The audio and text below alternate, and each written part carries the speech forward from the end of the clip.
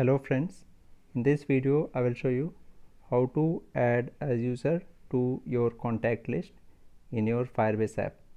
So in my previous video i showed you how to find user using his email or username. Now here i will show you how to add him to contacts. So this is the same page search user activity and here the custom view for the list view is this one and this contains this button add underscore contact. It is a text view and this one more button called message. Here you can see the id is message and id of this is add underscore contact. So here in this search user activity first we have to add this firebase db component contacts contacts. Then in on create we have to add this block contacts stop listening and then in onBind custom view. When this button add underscore contact is clicked here I create a new map variable and in this map variable I put the key the UID of the user. Get value at position key UID of list map result underscore users and I set its value to true and then I add it to Firebase DB contacts with key Firebase auth get UID contacts add key Firebase auth get UID value map. So this UID will be added to the contacts of current user. And then I toast user added to contacts. Now let's have a look at the app so here when I go to find user here I can find any user. Currently there are three users. So this is user one. And when I uh, this is actually myself. So I, I can add myself to my contacts. So now I am added to my contacts. Now I will find the second user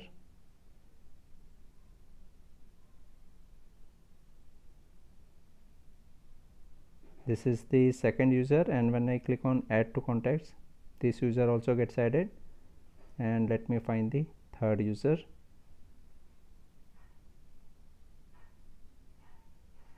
This is the third user and this is also added to contacts. Now suppose if I search the first user again. Here you can see it shows added to contacts and when I click on this button it doesn't work so now I will show you how to do that. And first I will show you what it, these buttons did in the database. So here in the database you can see the this data location contacts and then it contains my UID this is followed by the UID of three different users and value of all the all those is true so now I will show you how to find if this user is already added to contacts or not. So for that we again have to go to onBind custom view. And here we have to use this.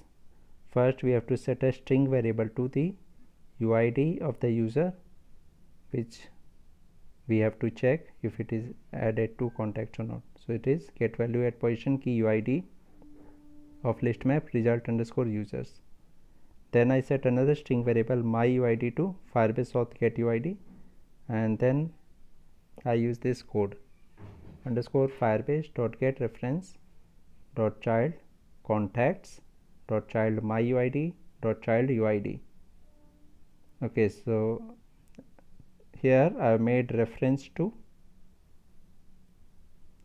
contacts followed by my UID followed by UID of the user so the value here the data snapshot will be only this string variable which is true. Okay so to this I add a value event listener new value event listener which contains this on data change method and data snapshot underscore param1 so here the value of this data snapshot will be a string variable. So from this param1 I get the value in string form. Underscore param1 dot get value string dot class. And that I set to a string variable called is underscore contact. So if it is true the string variable is underscore contact will be equal to true. If it is not true then it will be false or it will be null. So after this I use if else block or if else code so if this string variable is contact is not equal to null and is contact dot equals true then for the text view add contacts. I set text added to contacts and for add contact I set enabled false. Else for add contacts I set text add to contacts and add contacts set enabled true. After this I close this try and then catch exception. And if there is any exception I show it as message.